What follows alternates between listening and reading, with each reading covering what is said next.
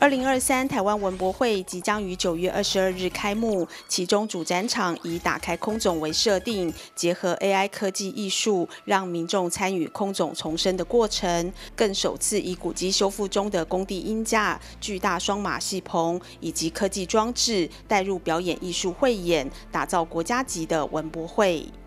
透过博览会最重要的目标来准备整理。呃，北台湾最重要的空总以及呃铁道博物馆，我们想把这两个场域打开。那打开之后呢，其实让创作者者进来，以野生台湾文化物种大发现的这个主题呢，让很多创作的特有种以及他们所独特代表台湾文化魅力的作品，可以在这几个园区给开展开来。我们其实特别打开的更宽广的光谱。例如是说，我们有很艺术性、很有创作性的视觉跟表演艺术一起进来，也有很多 IP 应用面向属比较属于传统文创产业这个进来，所以我们其实在思考说，在打开这个空总这个场域，可以让更多创作者回归到他们创作的初衷，回归到找到创作的能量，以及找到文创产业的应用。我们把光谱打开，让所有的创作者可以找到。最有创造力的部分，也可以找到跟市场对话的部分，所以这大概是这一次呃筹备有这么丰富多元内容的一个方向。空总部分的亮点，我觉得其实可以带大家来走进来，就是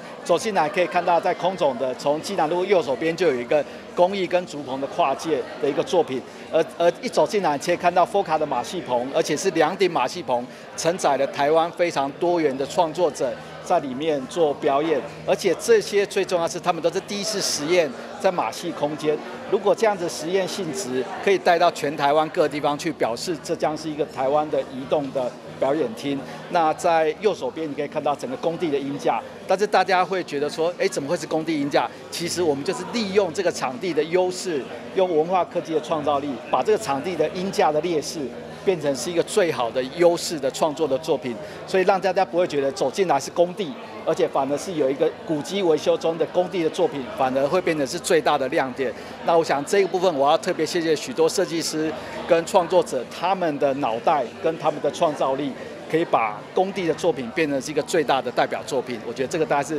空总最值得参观的。那除了这些比较表现性强的，其实还有艺术银行，然后也有动二点零，那还有主题馆。那还有打开空总，我觉得空总值得来两次、三次，都还是非常的有趣。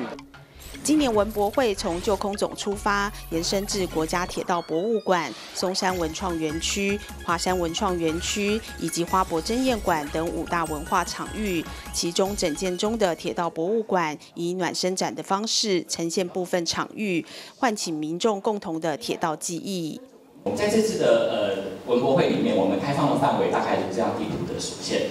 大约我们开放了两两万七千五百平方米的这样的一个区域。首先，这个大概是讲铁道文化相关的部分，铁道迷应该会非常的喜欢，因为我们会在场内提供在台北市区难得一见的铁路的乘车的体验。所以，那这个部分我们就这个是做呃一天会开大概二十二班车左右，其他我们会跟着铁道有关的，包含铁道的电影、铁道车辆的实地的展览。以及我们会在文博会期间贩售文博会特定的铁路便当。另外，我们跟着文化之间的一个融合，我们跟着电影，跟着一个劳动的精神，跟着我们原来铁道博物馆厂长室、副厂长室、会议室的实地的一个样貌，我们恢复一个现地上，欢迎大家来我们铁博来参观。那。这样的一个体验呢，事实上我们就是要告诉大家铁道文化资产的魅力，而且我们透过文化的展演的方式，用一种创新的手法来呈现铁道博物馆的一种有趣。那我们希望能够在这个活的铁道博物馆的概念的古迹场域里面，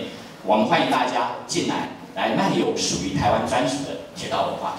那大家也知道说，我们在首都台北啊，基本上有一个文化走线的思考，这个文化的走线东西向啊，从呃过去啊。大家期待，但是现在还没有完全可以拿开给大家看的铁博，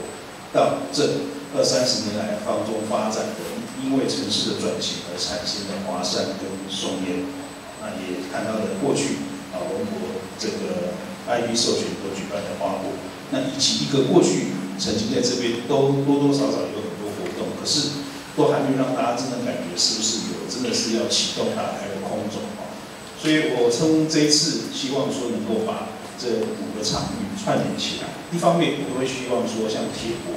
能够给大家一个阶段性的一个认知，一个看相。我们这么多年来，铁到底做到什么样的地步？我们呃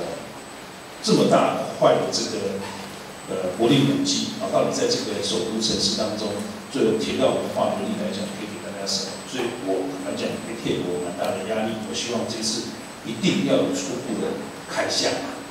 除了台北主展区，文博会还串联台湾博物馆、台湾历史博物馆、台湾史前文化博物馆、台湾工艺研究发展中心以及热兰遮博物馆等作为副展馆，让各地同时分享文博的魅力。二零二三台湾文博会将于九月二十二日开幕，展出至十月一日，为期十天。五大主展区，五个副展馆，十大亮点，邀请大家一起打开探索的眼睛，看见台湾文化新物种。记者林启慧台北报道。